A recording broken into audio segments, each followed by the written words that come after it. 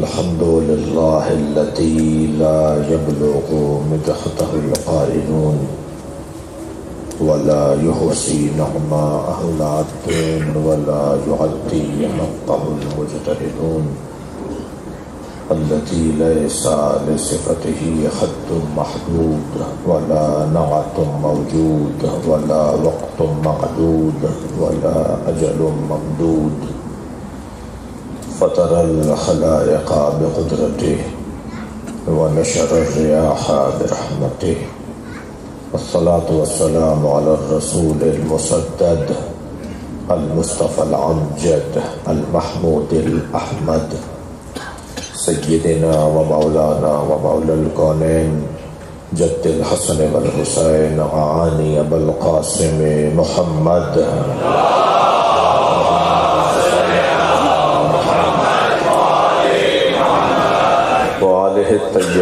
الطاهرين المعصومين الذين قال الله إنما يريد الله ليذهب عنكم الرجس أهل البيت ويطهركم تطهيرا.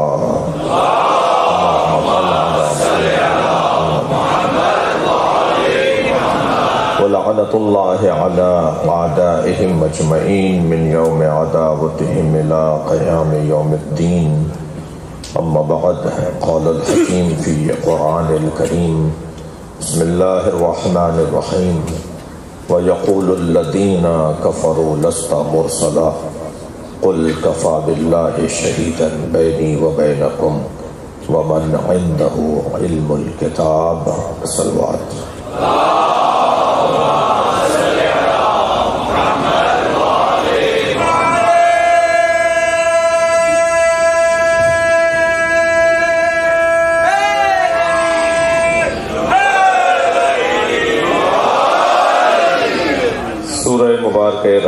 کی تینتالیسویں آیت جسے ایک مرتبہ پھر آپ کے سامنے تلاوت کیا۔ گزشتہ مجالس کچھ تمہیدی بیان پر مشتمل تھیں۔ آج میں کچھ آیت پر غور کرنا چاہوں گا۔ وہ یقول الدین کفر السّ اور جنہوں نے کفر اختیار کیا، وہ کہتے ہیں اور کہتے رہیں گے۔ لستا مرسلہ آپ بھیجے ہوئے رسول نہیں ہیں۔ قل، میرے حبیب، ان سے کہہ دیجیے۔ کفا باللہ شہید بینی و بینکم، میرے اور تمہارے درمیان میری رسالت پر گواہی کے لیے اللہ کافی ہے۔ ومن عنده علم الکتاب اور میرے اور تمہارے درمیان رسالت کی گواہی کے لیے وہ کافی ہے کہ جس کے پاس مکمل کتاب کا علم ہے۔ سلوات پڑھنے کا محمد والد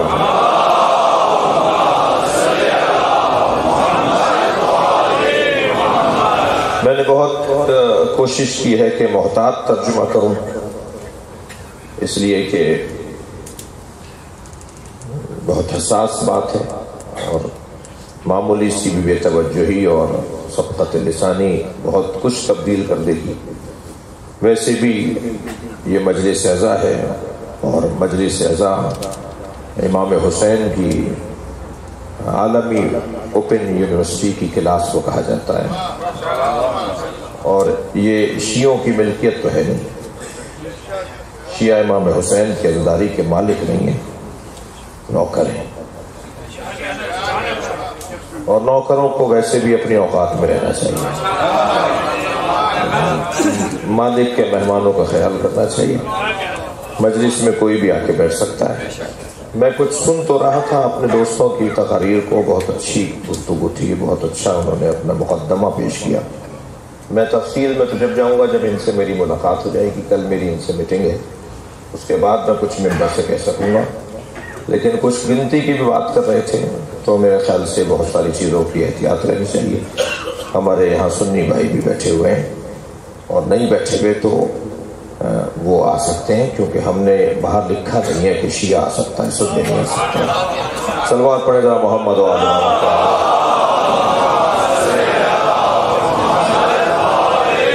اس سے بہتر اور بلند سلوات ربی کی ذات۔ ہے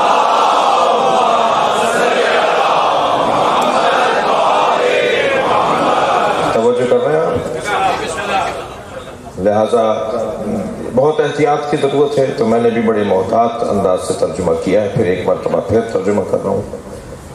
وہ یقول الدین کفرو اور جنہوں نے کفر اختیار کیا، وہ کہتے ہیں اور کہتے رہیں گے۔ میں نے ایک مجلس میں کہا تھا کہ ہمیں ترجمہ ہر کچھ مدت کے بعد قرآن کے ترجمے پر نظر ثانی کی ضرورت ہے۔ اس لیے کہ جیسے جیسے میرا اور آپ کا علم بڑھتا جا رہا ہے، ایسے ایسے مجھے قرآن اور سمجھ میں آئے گا۔ قرآن پرانا نہیں ہوگا، میں بہتر ہو جاؤں گا۔ قرآن مجید کوئی نیا نہیں ہوگا، میں بہتر ہو جاؤں گا اور میرے علم میں اضافہ ہوگا تو میری سمجھ بھی بہتر ہو جائے گی۔ تو یہاں ترجمہ معمولاً ہمارے یہاں کیا جاتا ہے کہ وہ یقول الدین کفرو جنہوں نے کفر اختیار کیا، وہ کہتے ہیں۔ میں اس ترجمے سے کچھ اختلاف کر رہا ہوں، علمی اعتبار سے۔ اس لیے کہ یقولوں کا جو سیغہ ہے نا، وہ فعل مظاہرے ہے۔ اور فعل مظاہرے حال اور مستقبل کو شامل ہوتا ہے۔ یعنی آج اور آئندہ بھی اگر کسی فعل کے لیے، فعل کو استعمال کیا جائے تو اسے فعل مظاہرے کہا جاتا ہے۔ ماضی کا فعل، حال کا فعل اور پھر فعل مظاہرے یعنی حال اور مستقبل کے بارے میں جو فعل پیغام دے اسے فعل مظاہرے کہا جاتا ہے۔ یہ فعل مظاہرے ہے۔ تو ترجمہ ہوگا وہ یقول الدینہ کفرو جنہوں نے کفر اختیار کیا، وہ کہتے ہیں اور کہتے رہیں گے، کہتے ہیں اور کہتے رہیں گے. اس ترجمے کو کچھ دیر کے لیے، اس لفظ کو کچھ دیر کے لیے اپنے ذہن مبارک میں محفوظ کر لیجیے. آیت کا جب ترجمہ مکمل ہوگا تو آپ کو اس کا لطف آئے گا. وہ یقول الدینہ کفرو جنہوں نے کفر اختیار کیا، وہ کہتے ہیں اور کہتے رہیں گے کہ آپ بھیجے ہوئے رسول نہیں ہیں. تو ان سے کہہ دیجیے کہ میری رسالت پر گواہی کے لیے اللہ کافی ہے اور وہ کہ جس کے پاس علم کتاب ہے۔ تو رسول کی رسالت کا انکار تو ہوتا رہے گا اور اللہ ہمیشہ رہے گا۔ تو ایک عالم الکتاب بھی ہر زمانے میں ہونا چاہیے۔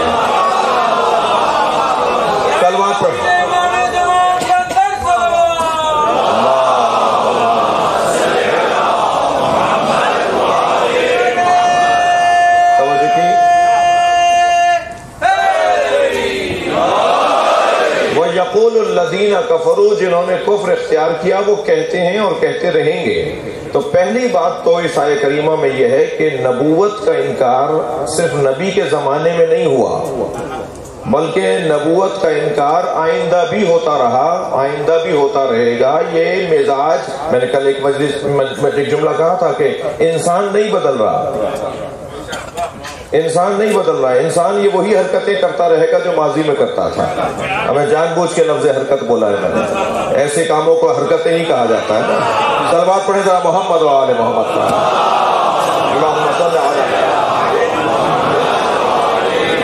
یہ یہ کرتا رہے گا۔ ماضی میں بھی یہ رسالت کا انکار کرتا رہا۔ اچھا انکار کرنا تو پھر ایک جرم ہے، کفر ہے۔ لیکن یہاں تو ماجرا یہ ہے کہ دعوی نبوت یہ انسان کر بیٹھتا ہے۔ جی؟ سجا کہتا رہا کہ میں نبی ہوں، مسلمہ کذاب، نبی کے رحلت کے بعد کہتا رہا کہ میں نبی ہوں۔ میں نے تو عزیزان گرامی دو لوگوں کو نفسیاتی بیمار پایا۔ توجہ آپ کی؟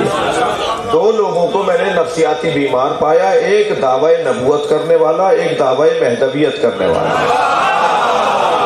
سلوات پڑھے تو محمد وعلیکم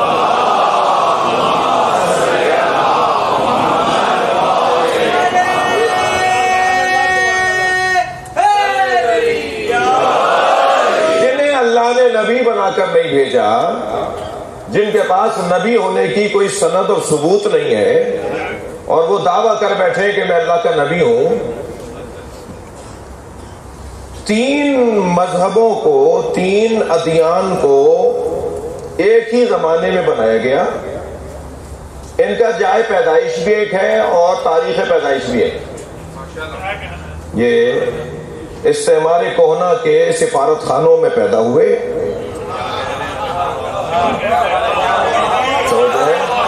ان کا ان کا جائے پیدائش بھی ایک ہے، ایک بہائیت، توجہ ہے، ایک بہائیت، ایک قادیانیت اور ایک وہابیت۔ تینوں کی تاریخ پیدائش بھی انیس سو چوبیس ہے۔ سلوات پڑھے ذرا محمد و عالم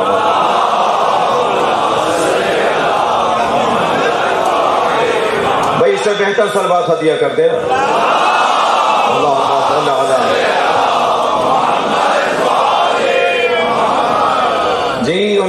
چوبیس کی یہ پیداوار ہیں اور استعمال کونا کے سفارت خانوں میں یہ بنائے گئے۔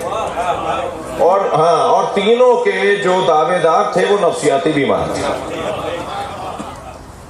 کوئی شیعہ نہیں ہو سکتا جو قادیانیوں سے محبت کرتا ہو۔ اور اگر کرتا ہے محبت تو اس کی معلومات میں کمی ہے۔ ان کی کتابیں بھری ہوئی ہیں، اہل بیت کی توہین پر۔ وہ شیعہ ہی نہیں ہے جو امام حسین کی توہین برداشت کر دے معلومات کی کمی ہے۔ کچھ ایک طبقہ ہے ہمارے درمیان کہ جو نرم گوشہ رکھتا ہے۔ یہ یہ کھل کر اچھا اب تو سوشل میڈیا اور اب تو جدید دور ہے۔ لہذا آپ جا کے سرچ کر لیجیے گا میری تقریر کے بعد۔ ان کا جو ابھی بڑا ہے اور اس سے پہلے جو بڑا تھا باقاعدہ پنجتن کی توہین باقاعدہ کربلا کا انکار۔ باقاعدہ امام حسین کی قربانی کا انکار۔ مذمت کرتے ہیں کربلا کی۔ تو ہو نہیں سکتا کوئی شیعہ ہو اور وہ قادیانیوں سے محبت کرتا ہو۔ یہ ایک پورا باب ہے۔ میں صرف اشارہ دے رہا ہوں آپ کی تحقیق کے لیے۔ اور آپ جس آبادی میں اور جن علاقوں میں رہتے ہیں تو آپ لوگوں کو یہ باتیں بہت روشن رہنی چاہیے آپ پر۔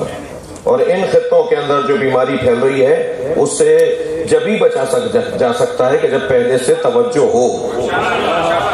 تو یہ تینوں تینوں لوگ بھی بہائیت اچھا بڑا طے شدہ بڑے طریقے کے ساتھ کام ہوا۔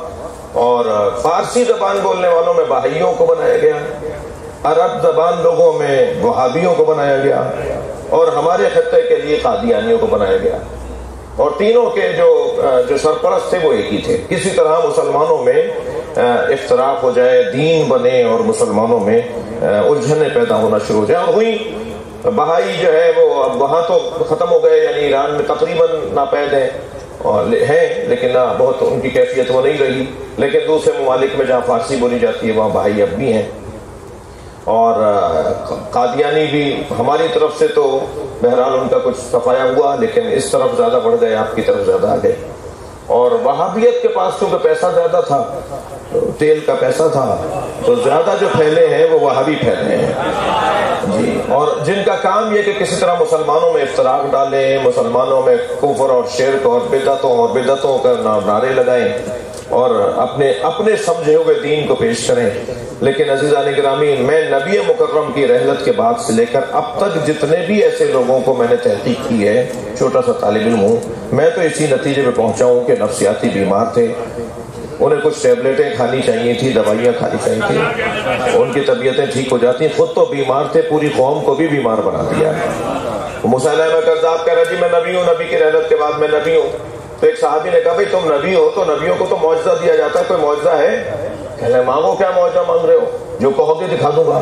کہنے تھے نبی مکرم نے تو درخت کو حکم دیا تھا، وہ چلتا ہوا آ گیا تھا۔ سرکار نے بلایا، درخت کو کہ میرے قریب آ جا، وہ درخت زمین پہ چلتا ہوا نبی کے قریب آ گیا اور اس کی ٹہنیوں نے جھک کے نبی کے قدموں کا بوسا دیا۔ تم نبی ہو تو کوئی درخت کو ذرا چلا کے دکھاؤ۔ تو درخت کو آواز دے کے کہا کہ میں نبی ہوں اور حکم الہی کے مطابق تجھے حکم دے رہا ہوں کہ میرے قریب آ جا۔ درخت نہیں آیا۔ پھر دوبارہ حکم دیا، پھر درخت نہیں آیا۔ تیسری دفعہ حکم دیا، پھر درخت چل کے نہیں آیا۔ تو درخت کے قریب جا کے کھڑے ہو گئے، کہنے لگے، ہم لوگ متکبر نہیں ہوتے، وہ نہیں آ رہا تو میں چلا گیا ایسا مزاق سلوات پڑھے گا محمد محمد۔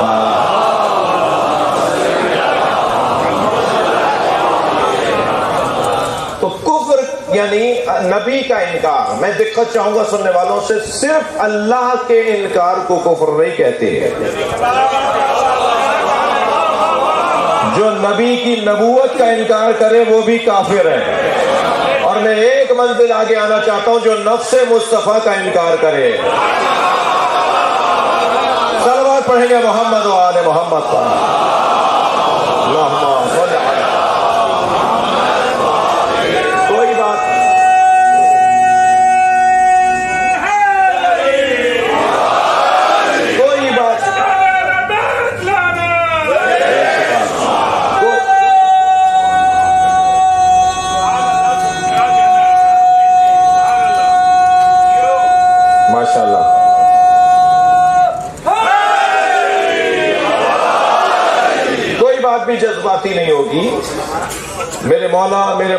مولا رضا علیہ السلام کا دربار ہے۔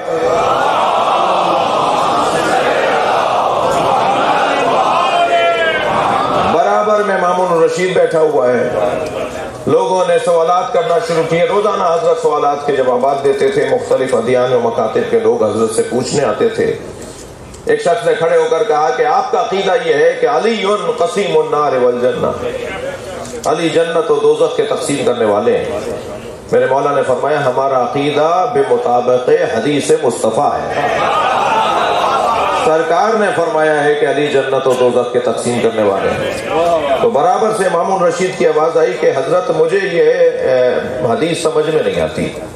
حضرت نے فرمایا، کوئی بات نہیں تو میں اگر یہ حدیث سمجھ میں نہیں آتی تو ہم ایک اور حدیث سناتے ہیں جو اس حدیث کو سمجھائے گی۔ جیسے قرآن کی آیت، قرآن کی آیت کو سمجھاتی ہے۔ ایسے ہی نبی کی حدیثیں نبی کی حدیثوں کو سمجھاتی ہیں۔ تمہیں یہ حدیث تو سمجھ میں نہیں آ رہی کہ علی جنت و دوزخ کے تقسیم کرنے والے ہیں۔ یہ حدیث تو تمہیں سمجھ میں آتی ہے کہ پیغمبر نے فرمایا، یا علی حب کا ایمان و بغض کا کوفر بھائی دلیل دے رہا ہوں، علی کا انکار۔ مولا علی کا انکار ایسا ہی ہے جیسے مولا نبی کا انکار۔ یا علی حب کا ایمان و بغض کا کوفر اے علی، تم سے محبت کرنا ایمان ہے۔ تم سے نفرت کرنا کفر ہے۔ مامون کی طرف دیکھ کر میرے مولا نے فرمایا، علی سے جو محبت کرے گا مومن ہے، جنت میں جائے گا۔ علی سے جو نفرت کرے گا، کافر ہے، دوزخ میں جائے گا۔ علی ہی جنت اور دوزخ بھیجتے ہیں۔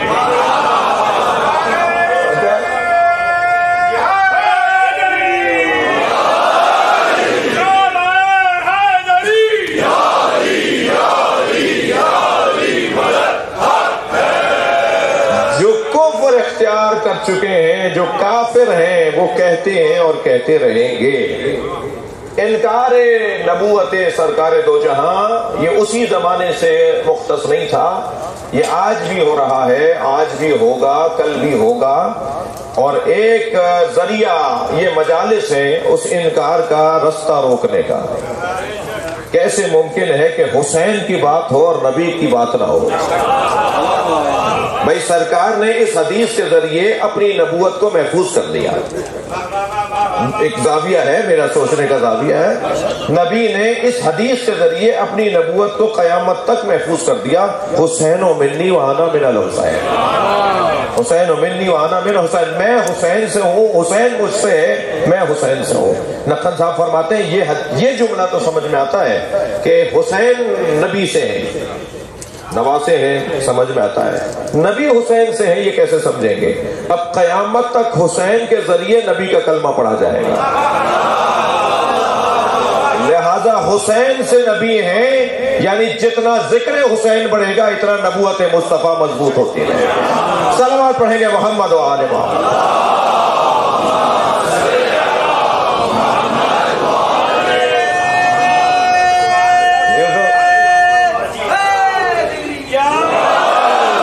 اور ہو رہے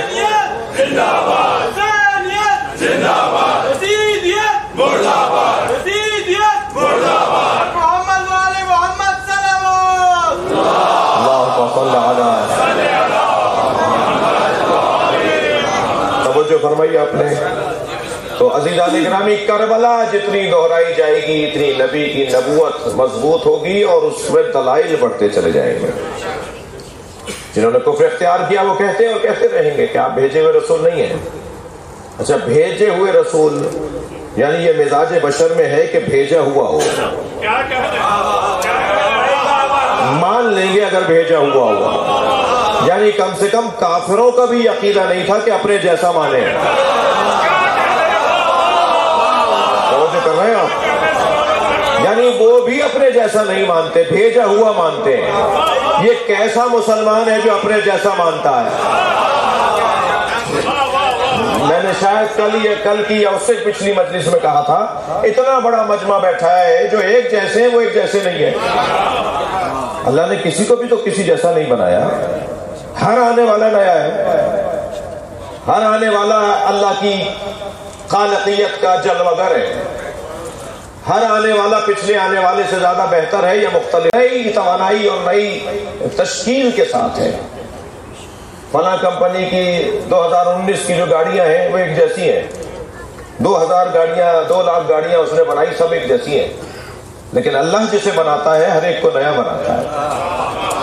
کوئی کسی جیسا نہیں ہے۔ کوئی کسی جیسا نہیں ہے۔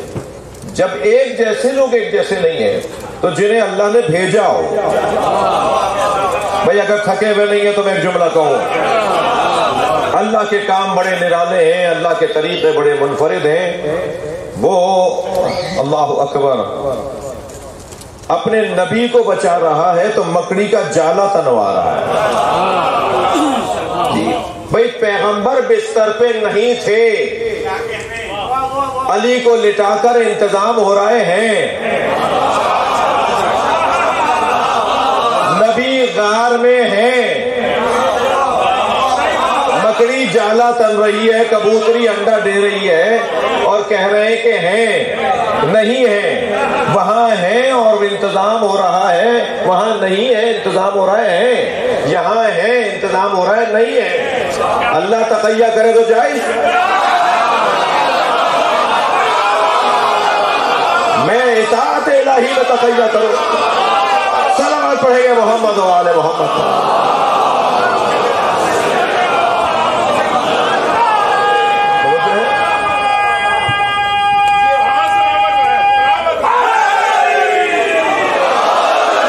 میں اپنے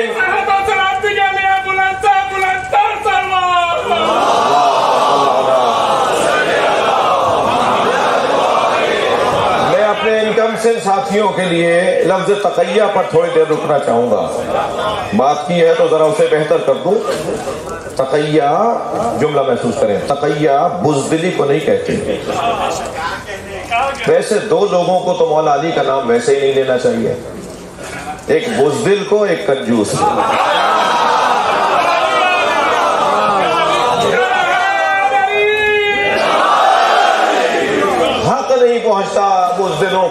کو کہ بولے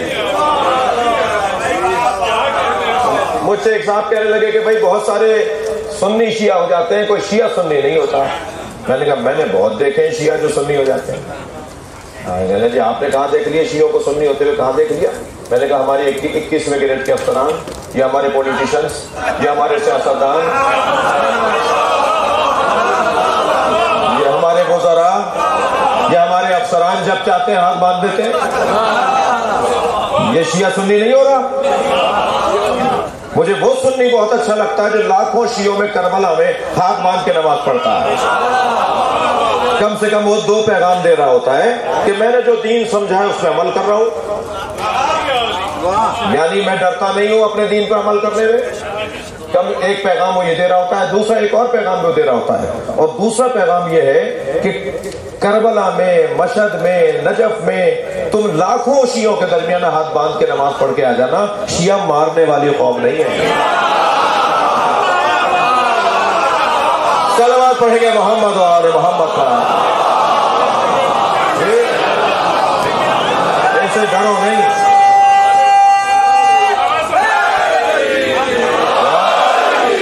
یہ ان سے ڈرا نہیں جائے، یہ کچھ نقصان نہیں پہنچاتے۔ پر امن ترین قوم ہے، یہ کسی کو تکلیف نہیں پہنچاتی۔ تو دو لوگوں کو تو ویسے ہی تو تقیہ، توجہ ہے۔ تقیہ بزدلی کا نام نہیں ہے۔ ہمارے درمیان بھی کبھی کبھی یہ آواز کانوں میں آتی ہے کہ تقیہ کا دور نہیں ہے بھائی کھل کے بات کرو۔ یہ کس نے کہا ہے کہ وہ پہلے والے ماضا اللہ ڈرپوک تھے اور آج دور بدل گیا، ہم بڑے بہادر ہو گئے۔ تقیہ کا مطلب نہ بزدلی سے اور ڈر اور خوف سے تقیہ کا کوئی تعلق ہی نہیں۔ تقیہ اللہ پر واجب ہے۔ بات پوری سن کے جائیں گے۔ تقیہ رسول اللہ پہ واجب ہے۔ تقیہ آپ پر مجھ پہ واجب ہے۔ کیا مطلب تقیہ کہتے کیسے ہیں؟ پہلے یہ روشن ہو جائے۔ تقیہ حکمت اور دانائی کو کہا جاتا ہے۔ تقیہ تقیہ جملہ اب یہ کر رہا ہوں۔ تقیہ استعداد مخاطب کا تو موضوع ہی نہیں ہے۔ بولنے والے کا تو موضوع ہی نہیں ہے۔ تقیہ سننے والے کا موضوع ہے۔ سامنے والے میں جو صلاحیت ہو، اس کے مطابق بات کرنا تقیہ ہے۔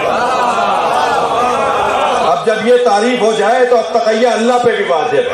سلوات پڑھے محمد و آل محمد۔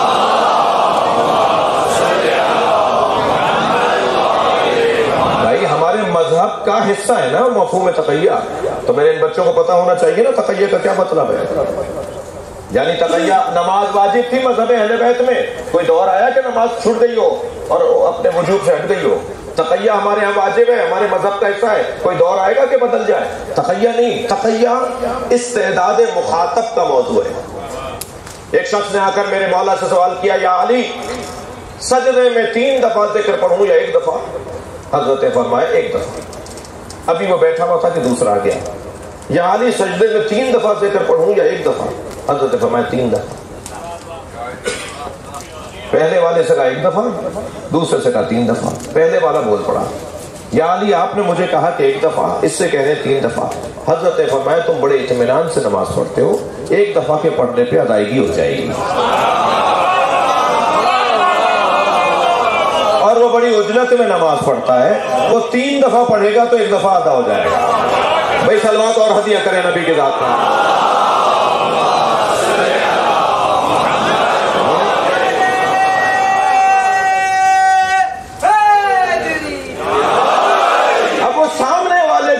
بات ہو رہی ہے نا اس میں کتنی قابلیت ہے، کتنی اہلیت ہے، کیا اس کو جواب دیا جائے؟ کیا اسے سمجھایا جائے؟ جب میرے مولا رضا نے فرمایا نا کہ یہ حدیث نبی مکرم کی ہے کہ علی قسیم النار والجنہ، علی جنت و دوزت کے تقسیم کرنے والے ہیں۔ اور یہ جواب دیا جو بھی میں نے آپ کو بیان کیا، میں تکرار نہیں کر رہا، جو بعد میں آئے ہیں، ان سے معذرت چاہتا ہوں۔ تو جب ابا سلط ہیراوی نے مولا رضا کی جوتیاں سیدھی کی نا اچھا جوتیاں سیدھی کرنے والوں کو یہ گھرانہ بہت نوازتا ہے۔ جوتیاں سیدھی کرنے کا مطلب یہ ہے ان کے ساری، جو ان کے دروازے پہ زیادہ جھکتے ہیں نا، انہیں بہت کچھ ملتا ہے۔ تو ابا سلط نے جوتیاں سیدھی کرتے ہوئے مولا رضا سے سوال کیا مولا یہی جواب تھا جو آپ نے دیا؟ پر من لگے، وہ ان کے لیے تھا، تمہارے لیے اور جواب ہے۔ ان کی صلاحیت اتنی ہی تھی نا۔ ابا سلنے کا مولا آتا فرمائے، میرے لیے کیا جواب ہے؟ فرمائے، میرے جد محشر میں کھڑے ہوں گے، جنت سے کہیں گے، یہ میرا ہے دوزت سے کہیں گے، یہ تیرا سلوات پڑھیں گے محمد و آل محمد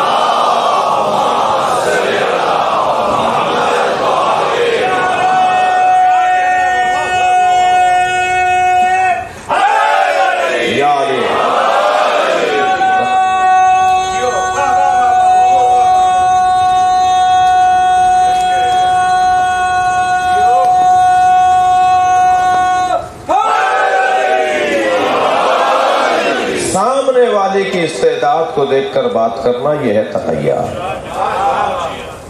تو اللہ نے بھی پہلے مرحلے پہ تو شراب کو حرام قرار نہیں دیا۔ دوسرے مرحلے میں اس کی کراہت کو ثابت کیا۔ تیسرے مرحلے میں حرام کر دیا۔ اور پہلے کہا کہ ہر نجس جو ہے، وہ شراب نجس ہے اور ہر نجس کا کھانا حرام بعض لوگ ہیں ہمارے یہاں، مجھے معلوم ہے۔ کہتے ہیں شراب حرام کا ہے؟ تو بھائی، ہر نجاست قرآن نے پہلے کہا کہ رج سے نجس ہے اور نجاست کھانا حرام ہے۔ تو کیا اب بھی صاف کہا جائے گا کہ شراب پھر پینا حرام ہے؟ نجس ہے تو پھر نجس ہے، نجس کو تو کھایا نہیں، پیا نہیں جاتا۔ بہت ساری نجاستیں ہیں، ہم کسی اور کو تو نہیں لیتے۔ تو بہرحال بات اتنی ہے کہ جیسے جیسے فہم بڑھتا گیا، معیار بڑھتا گیا، سوچنے کا طریقہ بہتر ہوتا چلا گیا، ایسے ایسے پیغام بھی واضح اور روشن ہوتا چلا گیا۔ یہ ہے تقیہ کا مفہوم۔ اللہ بھی یہی کرتا ہے۔ نبی مکرم بھی ایسے ہی کرتے ہیں۔ آئمہ اہل بیت بھی اسی انداز کو اپناتے ہیں۔ تو تقیہ یعنی استعداد مخاطب کو دیکھ کر، سامنے والے کی اہلیت کو دیکھ کر بات کرنا، یہ تقیہ ہے۔ اللہ یہاں کیا کر رہا ہے؟ اللہ کا انتظام تو دیکھیے کہ نبی کو بچانے کے لیے وہ انتظام کیسے کر رہا ہے۔ اچھا غار میں سرکار ہے، مگر انتظام ہو رہا ہی نہیں ہے۔ یہ پیروں کے نشان دیکھتے ہوئے غار کے دہانے پر پہنچ گئے۔ اچھا قدم شناس تو یہ پرانے تھے۔ جب غار کے دہانے پر پہنچے تو انہیں ماحول ایسا نظر آیا۔ کہنے لگے جی یہ تو احمد بیوت ہے، بہت ہی نازک گھر ہے جو مکڑی کا گھر ہے، مکڑی کا جالا ہے۔ پھونک سے ٹوٹ جاتا ہے۔ تو اتنے بڑے بڑے لوگ اندر گئے ہوں اور یہ نہ ٹوٹا ہو، یہ کیسے ممکن ہے؟ تو واپس آ گئے۔ یعنی اندر ہے مگر انہیں سمجھ میں آ رہا ہے کہ وہ اندر نہیں ہے۔ یہ اللہ انتظام کر رہا ہے۔ اللہ نے نبی کو بچانے کا یہ انتظام کیا اور خانہ کعبہ کو بچانے کے لیے کیا کیا؟ اتنے قوی ہے کل جانور کے سامنے اتنا سا پرندہ۔ یعنی اصحاب فیل کا مقابلہ ابابیل سے۔ اتنے بڑے بڑے جانور، اتنی موٹی کھال ہوتی ہے ہاتھی کی۔ کلف کھال کا ہوتا ہے یہ ہاتھی۔ موٹی کھال کا جانور ہے۔ ایک سوا چپ ہوتے ہیں اس کے اوپر۔ تب جا کے یہ رام ہوتا ہے۔ اتنا قوی ہے کل جانور، اس کو مارنے کے لیے اگر اگر اللہ ہاتھی بھیج دیتا نا، ہاتھیوں کے مقابل اگر اللہ ہاتھی بھیجتا تو گویا ہاتھیوں کی طاقت کو تسلیم کر لیتا۔ دشمن کی دشمن کی شکست ہی یہ ہے کہ اسے تسلیم نہ کرو۔ اتنے قوی ہے کل جانور کے مقابلے میں کون سا پرندہ لائے اللہ؟ یہی خود ذلت کے لیے کافی تھا۔ یہی خود ذلت کے لیے کافی تھا کہ اس جانور کے مقابلے میں اللہ نے جو پرندہ بھیجا ہے، وہ انتہائی نازک و ناتوان اور بہت ہی نحیف سا جانور ہے۔ میری اور آپ کی مٹھی میں رہے گا۔ اچھا جو اتنا سا پرندہ ہو، اس کی چونچ کتنی بڑی ہوگی؟ اور اتنی سی چونچ میں کنکر کتنا بڑا ہوگا؟ بھائی، بڑی مہربانی، آپ کی توجہات دیکھ رہا ہوں۔ اگرچہ کچھ تو بہت غور سے مجھے دیکھ رہے ہیں اور ان کا بھی شکریہ میں ادا کر رہا ہوں۔ اللہ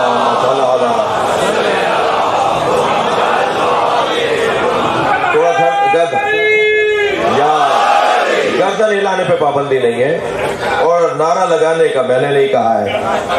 یہ تو ان کی مودت اور ولایت اہل بیت کا تقاضا ہے۔ سلوات پڑھنے ذرا محمد و آل محمد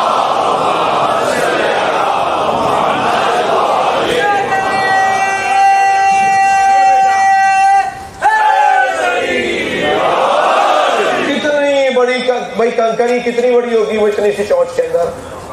اور قرآن پکار کے کہتا ہے وہ ارسل علیہم تیرن ابابیل اصحاب فیل پر ہم نے ایک تیر، ایک پرندہ بھیجا، جس کو ابابیل کہا جاتا ہے۔ جب وہ کنکر چھوڑتے تھے نا، تو کوئی خطا نہیں جاتا تھا، ہاتھی پہ لگتا تھا۔ اس لیے کہ بھیجا ہوا ہے۔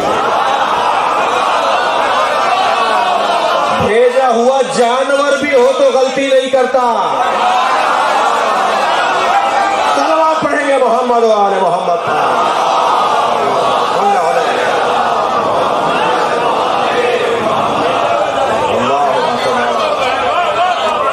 انہیں رسول بنا کر بھیجا ہے۔ میں نے اسے ایک لفظ کی خاطر آپ کے دس منٹ لے لیے کہ لستا مرسلا یعنی کافر بھی یہ تلاش کرتا ہے کہ بھیجا ہوا ہونا چاہیے۔ اور وہ یہ دیکھ رہا ہے کہ بھیجا ہوا جو ہوگا وہ غلطی نہیں کرے گا۔ اب اسے یقین نہیں آ رہا کہ یہ بھیجے ہوئے نہیں ہیں، یہ بھیجے ہوئے ہیں، یہ کہہ رہا ہے بھیجے ہوئے نہیں ہیں۔ آپ تو یہیں کے ہیں اب جو ظاہری نگاہوں سے دیکھتا ہے نا کہ یہ تو یہیں کے ہیں وہ وہ در حقیقت خطا کر رہا ہوتا ہے، جو اپنے جیسا جان رہا ہوتا ہے۔ یہ اگر یہیں کے ہوتے، میں کافروں کا جواب دے رہا ہوں۔ اگر یہ یہیں کے ہوتے، تو یہاں کا رنگ لیتے نا۔ یہاں کا تو کوئی رنگ نہیں لیا انہوں نے، یہ تو کفر کا ماحول ہے، شرک کا ماحول ہے۔ بچیوں کو زندہ درگور کیا جاتا ہے چھوٹی چھوٹی باتوں پہ سالوں کی لڑائیاں ہوتی ہیں۔ انہوں نے تو یہاں کا اثر نہیں لیا۔ زمانے سے متاثر ہونا، حالات سے اثر لینا، یہ انسان کی کمزوری ہے۔ نہیں ہو سکتا کہ کوئی کسی ماحول میں رہے، اس ماحول کا اثر نہ ہو۔ حاجی صاحب بیٹھے ہوئے شاید انہیں یاد ہو، مفتی عنایت علی شاہ صاحب، اور بزرگوں کو بھی یاد ہوں گے، ملتان ایک بزرگ تھے اور خیر پور کی ریاست میں وہ مفتی اعظم تھے تو ان کے نام کے ساتھ مفتی لگتا تھا کیونکہ ریاست کے مفتی تھے۔ ایک سنی مفتی ہوتا تھا، ایک شیعہ مفتی ہوتا تھا ریاست میں۔ تو ملتان کے اصل بکھر کے رہنے والے تھے لیا کے معاف کیجیے گا۔ اور ملتان میں انہوں نے شاہ گردیز میں تقریباً ساری زندگی گزار دی۔ یہ گردیزی سادات جو ہیں وہ ان کی خدمت گزار رہے۔ تو مفتی صاحب کا لہجہ جو تھا وہ سرائی کی لہجہ تھا۔ ظاہر زبان بھی ان کی مادری سرائی کی زبان تھی۔ وہ ایک دفعہ قوم آئے اور میں وہاں مقیم تھا، طالب علمی کا دور تھا، اب بھی طالب علم ہوں، مگر وہاں کے قیام کا دور تھا۔ تو مفتی صاحب سے ہمیں پیار تھا، محبت تھی، بزرگ تھے ہمارے۔ تو میں ان کے ساتھ تقریباً کوئی ایک مہینہ ان کے ساتھ وہاں رہا۔ یعنی وہ وہاں رہے تو میں ان کی خدمت میں روزانہ ان کے ساتھ ایک ملاقات کے لیے جاتا تھا۔ ایک مہینہ میں ان کے ساتھ رہا۔ یقین جانیے، تین مہینے تک میرا لہجہ سرائکی کا ہو گیا۔ تھا یعنی میں یعنی میں اردو بولتا تھا سرائکی لٹک کے ساتھ۔ سلوات پڑھے محمد آل محمد خان۔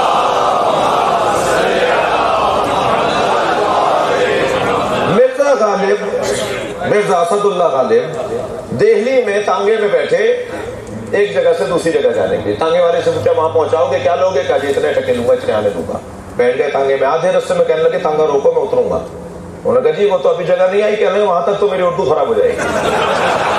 تو انسان جو ہے وہ ماحول کا اثر لیتا ہے۔ یہ فطری مسائل ہے نا۔ یہ ہوتا ہے۔ میں شاید یہی رک کر ایک جملہ کہہ دوں۔ خدا کے واسطے ماحول کا اثر لینے والے کم سے کم یہ ضرور سوچیں کہ ہم ان کے ماننے والے ہیں جو ماحول کا اثر نہیں لیتے۔ سلوات پڑھنے کرو نبی اور آل نبی پر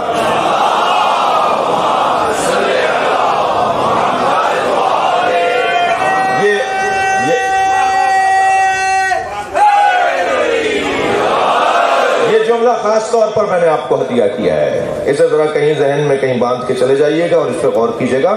ماحول کا اثر لینا اہل بیت کے چاہنے والوں کی نشانی نہیں ہے۔ بھائی اقبال بھی آئے تھے اس علاقے کے اندر پڑھنے کے لیے۔ اور علامہ اقبال نے واپس پلٹ کے دو مصرے کہہ دیے خیرہ نہ کر سکا مجھے جلوے دانش فرہنگ مغرب کا جلوہ مجھے میری آنکھوں کو متاثر نہیں کر پایا۔ خیرہ نہ کر سکا مجھے جلوے دانش فرہنگ۔ سرما ہے میری آنکھ کا خاک مدینہ و نجف۔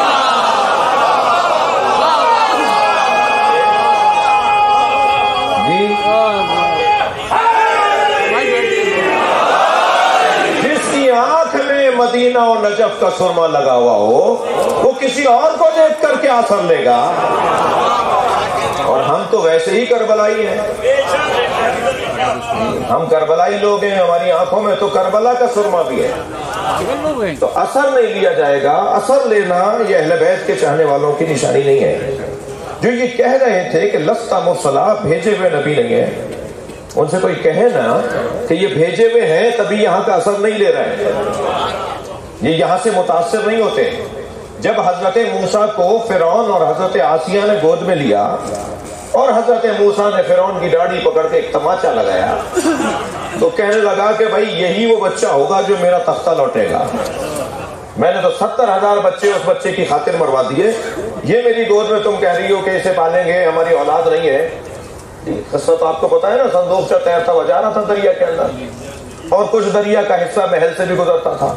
وہ صندوق وہاں محل کے اندر چلا گیا اور یہ زندگی بھر کبھی اس دریا کے کنارے بیٹھ کے محدود نہیں ہوئے۔ یہ اسی دن حضرت آسیہ نے کہا کہ میرا دل کر رہے ہیں دونوں ساتھ بیٹھ جائیں۔ جی اور ساتھ بیٹھ کے دریا کے کنارے کچھ منظر دیکھ رہے تھے، کچھ مناظر دیکھ رہے تھے، کچھ محسوس ہو رہے تھے ٹھنڈی ہواؤں سے کہ صندوق سے تیرتا ہوا نظر آیا۔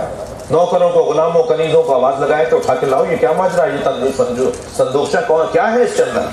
وہ جب گئے پانی میں کودتے ہوئے گئے، تیرتے ہوئے گئے، لے کر آئے، کھولا تو نو مولود بچہ، شیر خوار بچہ، ابھی کچھ دیر کا پہلے کا بچہ۔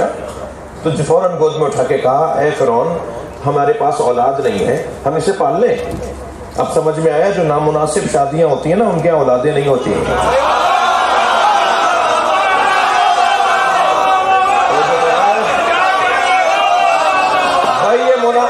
یہ مناسب شادی نہیں تھی بھائی سلوار پڑھنے ذرا محمد والے محمد کہنے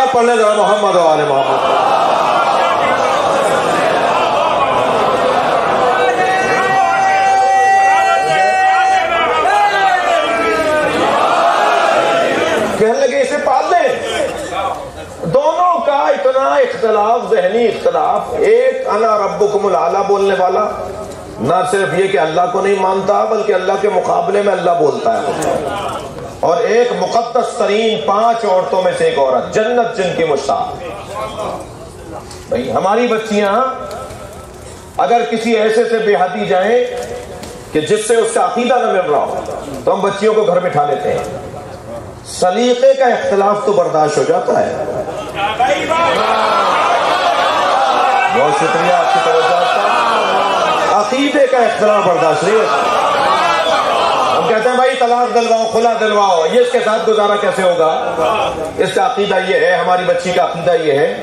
عقیدے کا اختلاف بھی اتنا شدید، وہ اپنے آپ کو اللہ بولتا ہے اور یہ اللہ کی کنیز خاص۔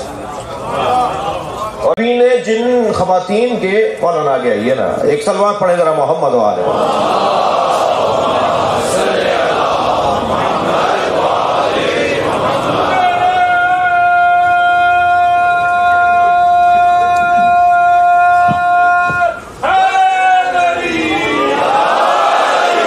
اب آپ ورجینیا سے امریکہ سے چل کے یہاں آئے ہیں، تو میں اتنی دیر تو آپ ویسے بھی اکریم العلماء حکم معصوم یہ ہے کہ علماء کا اکرام کرو۔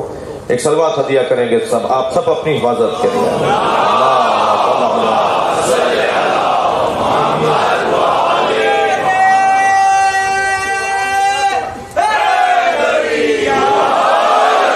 توجہ کر لیا آپ نے؟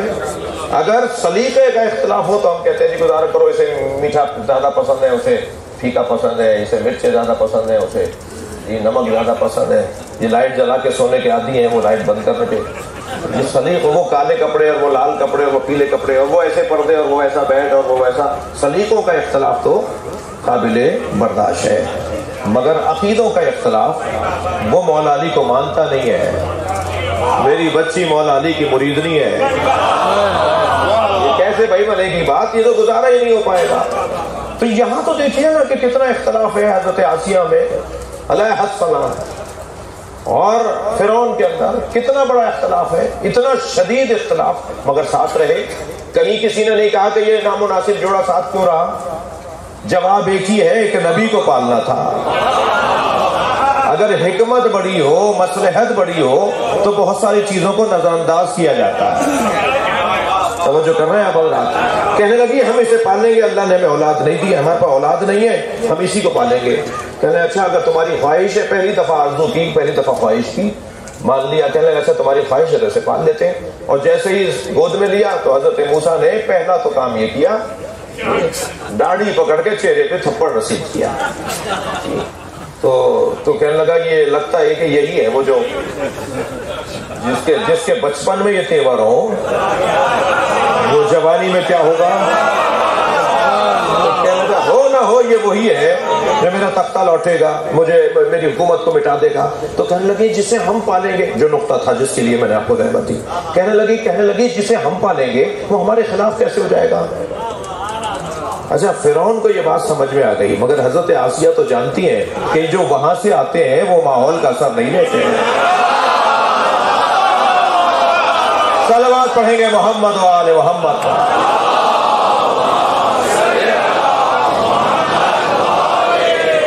اس سے بلند اور بہتر۔ توجہ کر لیا آپ نے۔ اب یہ کہہ یہ رہے ہیں کہ لستا مرسلہ آپ بھیجے ہوئے رسول نہیں۔ آپ ہوئے رسول نہیں ہیں اور بھیجے ہوئے رسول ہوتے تو آپ میں اب ہم یہی جواب دے رہے ہیں کہ یہ بھیجے ہوئے رسول ہیں۔ کوئی اثر نہیں لے رہے، ماحول کا کوئی اثر نہیں لے رہے۔ انہیں اللہ نے سجا کر بھیجا ہے۔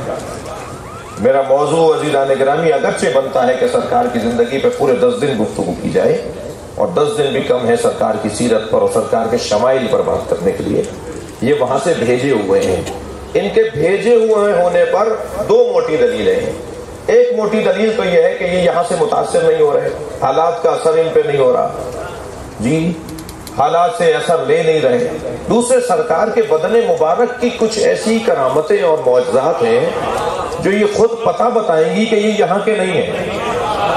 یہ یہاں کے نہیں ہیں۔ مثلا، سرکار کا سایہ نہیں تھا۔ سنی شیعہ کا عقیدہ ہے بھائی۔ نبی مکرم کا سایہ نہیں تھا۔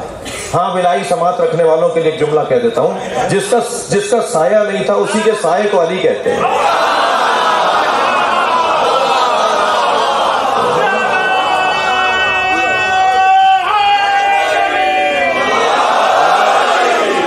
نبی کا سایہ نہیں تھا۔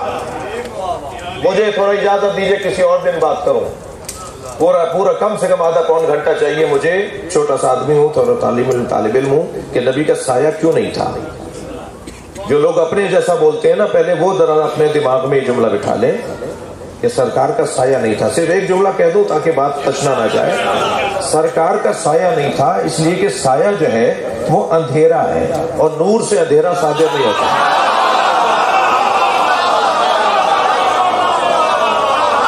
پڑھیں گے محمد والے محمد کا۔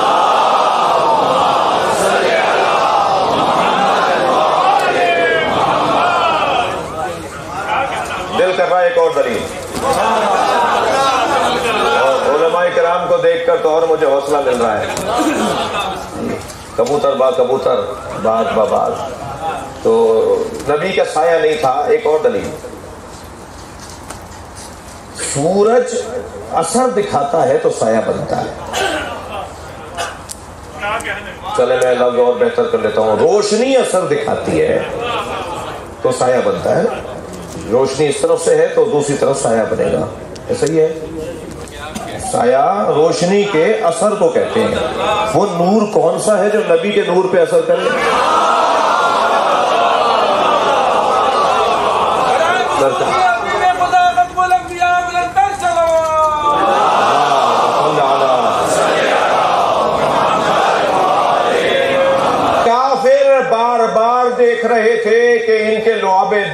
کتنی تاثیر ہے۔ حضرت ابو ذر غفاری کے گھر تشریف لے گئے، وہ پانی دور سے لے کر آئے مہمانوں کو پلانے کے لیے۔ سرکار نے فرمایا، تمہارے گھر میں تو کنویں ہیں فرمان لگے کڑوا ہے۔ حضرت نے فرمایا، تم نے ہمیں نہیں بتایا۔ حضرت تشریف فرما ہوئے، منڈیر پر بیٹھ گئے، پیر لٹکا کے۔ کنویں میں پیر لٹکا کے سرکار منڈیر پر بیٹھ گئے۔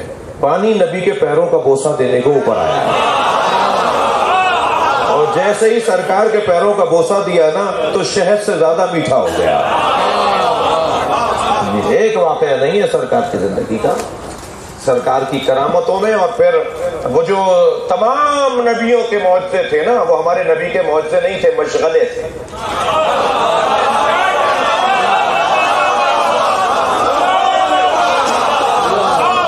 جو سارے نبی کرتے تھے، میرے نبی کے تو مشغلے تھے۔ سرکار کے لیے معجزے ہزار معجزے لکھے ہیں اللہ محلی نے۔ کہ سرکار نے ہزار معجزے جو نبی دکھاتے تھے، وہ سرکار اکیلے دکھاتے تھے۔ نبی کا معجزہ یہ نہیں ہے جو جو انبیاء کرام کے معجزے تھے۔ پھر میں میں تو جس وادی میں جا رہا ہوں، دل کر رہا ہے، وہیں رک جاؤں۔ تمام نبیوں کے معجزے ہمارے نبی کے معجزے نہیں تھے۔ تھوڑا سا خستہ بھی ہوں، آج چوتھی میں شاید مجلس پڑھ رہا ہوں۔ تو آپ کو اندازہ بھی ہو رہا ہوگا۔ لیکن بہرحال مجلس تو ہوگی۔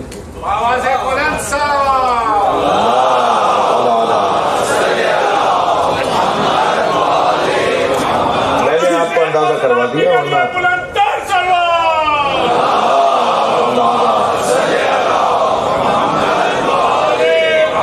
دقت فرما رہے ہیں آپ۔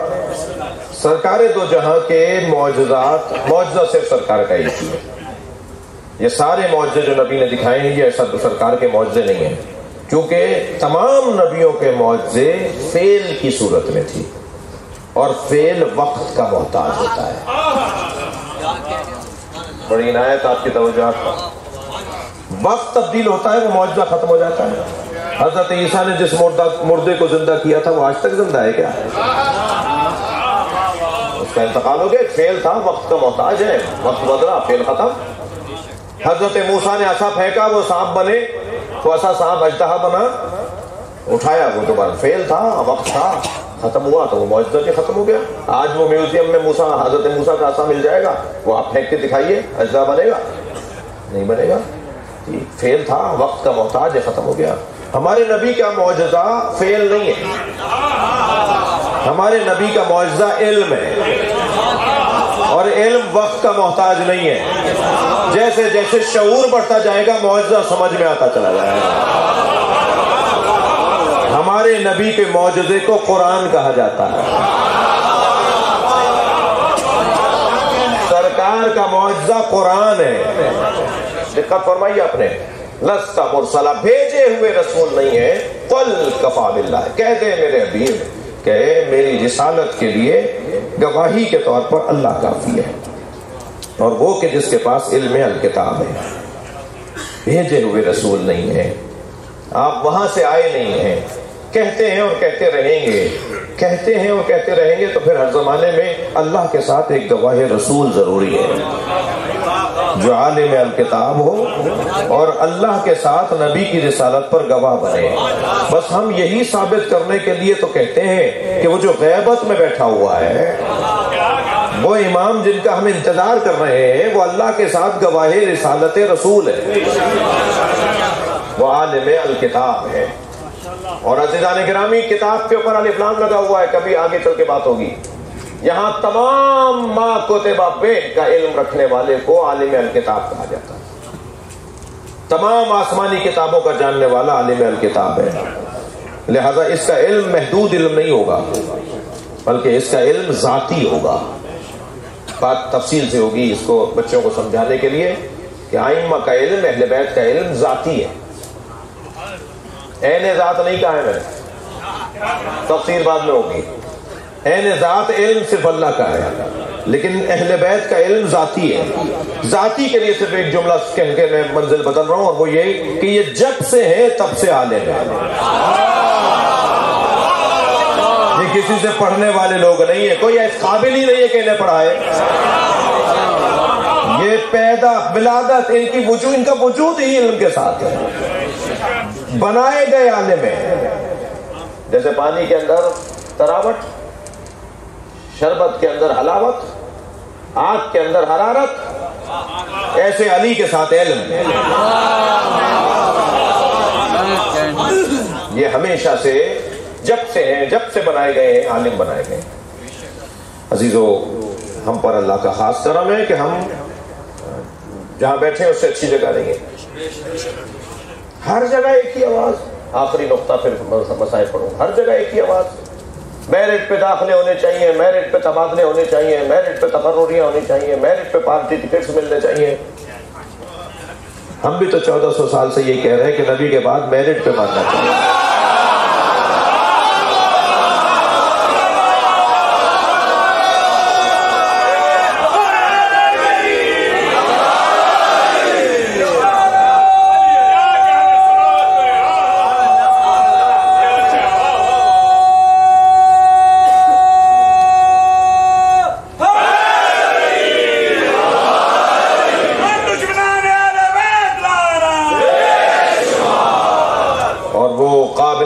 صلاحیت کا ایک جلوہ کربلا ہے کربلا قابلیت کا جلوہ ہے۔ کوئی ایسا کر کے دکھائے؟ میدان تو سب کے لیے کھلا ہوا ہے۔ حسین سے نہیں پوچھا جائے گا کہ وہ کربلا کیوں آئے۔ تم سے پوچھا جائے گا تم کیوں نہیں آئے۔ اور تم اس لیے نہیں آئے کہ تم میں یہ قابلیت نہیں تھی کہ اللہ کے دین کو محفوظ کر سکو۔ اس کے لیے خرچہ کرنا پڑتا ہے۔ اس کے لیے جان دینا پڑے گی۔ عزیزو کربلا نے حسین کو نہیں ڈھونڈا ہے۔ حسین نے کربلا کو ڈھونڈا گھوڑا چلتے چلتے رک گیا۔ مجھے تو یہ بات مجھ پہ واضح نہیں ہے کہ امام نے گھوڑا بدلا ہو۔ بعض پڑھتے ہیں کہ گھوڑا بدلا امام نے۔ مجھے نہیں نہ مل رہا کہ گھوڑا بدلا ہو۔ زلجنا کو بدلا نہیں ہے امام نے۔ زلجنا کا رکنا بتا رہا ہے کہ سمجھدار کتنا ہے۔ اور یہ معمولی گھوڑا تو ہے نہیں۔ یہ نبی کی سواری ہے۔ اور نبی کی سواری ہونے کی وجہ سے بھی یہ صاحب کرامت ہے۔ جی، زلجنا خود صاحب کرامت ہے۔ بہار میں حدیث ہے مولا مولا علی کی کہ نبی جس جانور پر بیٹھ جاتے تھے، لم یسن و لم یا نہ وہ بوڑھی ہوتی تھی، نہ وہ بیمار ہوتی اور پسر سعد نے تھا، کہا تھا کہ خبردار، جب میرے مولا نے گھوڑا چھوڑ دیا نا جب میرے مولا نے زلجنا کی پشت کو چھوڑ دیا، تو پسر سعد نے کہا تھا، اسے کوئی تیر نہ مارے۔ میں نے بچپن میں نبی کو اس پہ بیٹھے دیکھا۔ مجھے نہیں معلوم آپ کے درمیان کچھ لوگ ضرور بیٹھے ہوں گے جو اس جانور کے بارے میں معلومات رکھتے ہیں۔ گھوڑے کی عمر بیس سال سے زیادہ نہیں ہوتی۔ بوڑھا ہو جاتا ہے بیس سال میں۔ گیارہ ہجری میں نبی کو بیٹھے دیکھا، آٹھ ہجری میں نبی کو بیٹھے دیکھا۔ اکسٹھ ہجری میں کہہ رہا ہے کہ میں نے نبی کو بیٹھے دیکھا۔ پچاس سال بعد یہ تازہ ہے، جوان ہے۔ کیونکہ نبی اس کی پشت پہ بیٹھتے تھے۔ کہنے لگا، کوئی زلجنا کو تیر نہ مارے۔ میں نے نبی کو اس میں بیٹھے دیکھا ہے۔ میں اسے کہوں گا، تجھے نبی کی سواری یاد ہے؟ تجھے یہ تو یاد ہے کہ نبی گھوڑے پہ بیٹھے تھے؟ تجھے یہ یاد نہیں، حسین نبی پہ بیٹھتے تھے۔ حسین نبی کی پشت پر بیٹھتے تھے، نبی کے دوست پر بیٹھتے تھے۔ عزدارو بڑا سخت مرحلہ ہے۔ جو زلجنہ سمجھ رہا ہے کہ زمین کون سی ہے۔ اب آپ اگر آمادہ ہیں تو زلجنہ کا حال ہی سن لیجیے۔ یہ اتنا سمجھدار تھا، امام حسین اسے مارتے نہیں تھے۔ فرماتے تھے، تیز چل تو یہ تیز چلتا تھا۔ امام فرماتے تھے، آہستہ چل تو یہ آہستہ ہو جاتا تھا۔ امام فرماتے تھے، دائیں موڑ تو یہ دائیں مڑتا تھا۔ امام فرما رہے تھے، مجھ سے بیٹھا نہیں جا رہا تو یہ گھٹنے ٹیک رہا تھا۔ کہ کسی طرح حسین ابن علی کو اترنے میں تکلیف نہ ہو۔ یہ تو میں کہہ رہا ہوں نا، اترنے میں، گرنے میں تکلیف نہ ہو۔ اجر و کمل اللہ، اجر و کمل اللہ، آپ کی آوازیں بلند ہیں۔ خدا کسی غم میں نہ رلائے سوائے غم اہل بیت میں ہمیں رونے رلانے والوں میں قرار دے۔ عزدارو یہ ذوالجنا نبی مکرم کی سواری امام حسین اس پر بیٹھے ہیں۔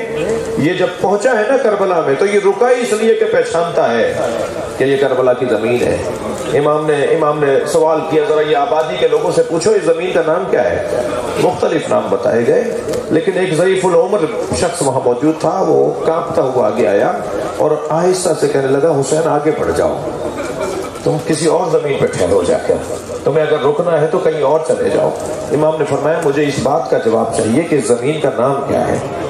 کہا نام تو تمہیں بتا دیے گئے امام نے فرمایا، مجھے ایک نام کی تلاش ہے۔ یہ یہ نام نہیں ہے جو اس زمین کا مجھے چاہیے۔ کہنے لگا ہاں حسین ہاں کربو بلا۔ یہ کربو بلا ہے۔ امام نے فرمایا باس ہم یہیں رکیں گے۔ یہ زلجنا امام حسین کا کتنا سمجھدار ہے کہ جب مولا عباس نے آواز دی ہے نا کہ مولا میرا سلام آخر لیجیے گا، تو تیز رفتار دوڑتا ہوا زلجنا رک گیا۔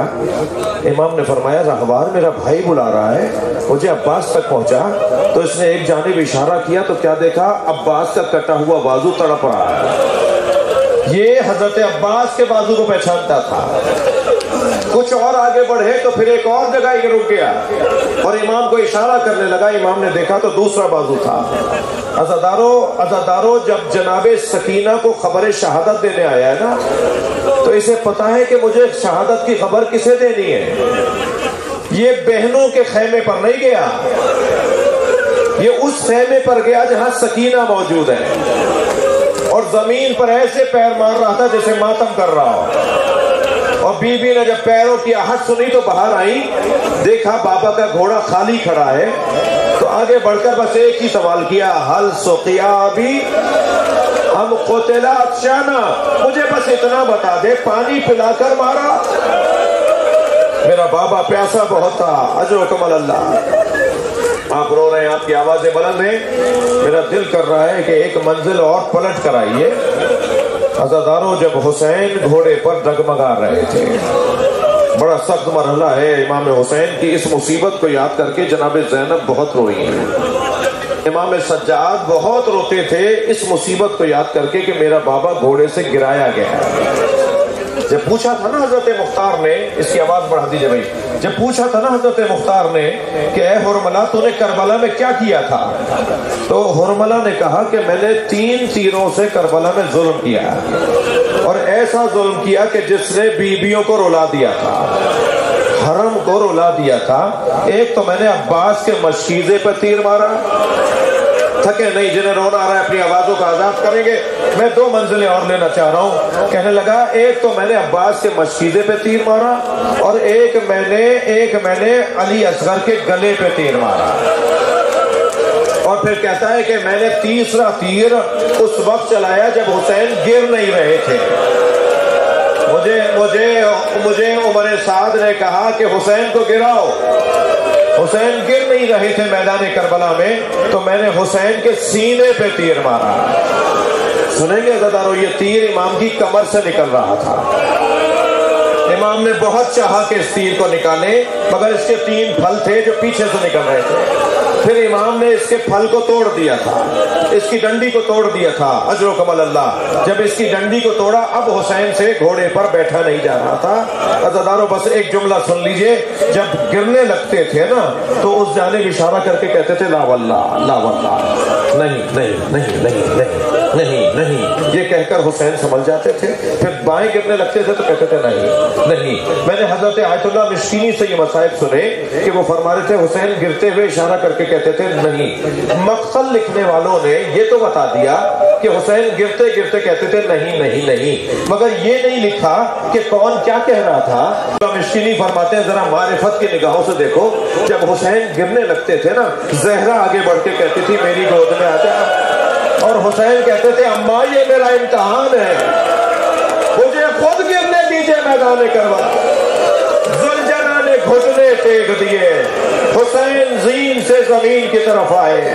آواز آئی ہے زین العابدین، یہ سیاہ آندیاں کیسی ہیں کہ بھوپی اماں خیمے کا پردہ ہٹائیے اب جو دیکھا، نیزے کی انی پر کٹا ہوا سر ہے۔ آواز دی، السلام علیکہ یا ابا عبداللہ۔ اے میری پھوپی حجت خدا کو مار دیا۔ اللہ لعنت اللہ اللہ قوم الظالمین۔ یا اللہ، ان آوازوں پہ رحمت نازل فرما۔ رونے والوں کی توفیقات میں اضافہ فرما۔ ہم سب کی عاقبت بخیر فرما۔ امام زمانہ کے ظہور میں تعجیل فرما۔ ماتم حسین۔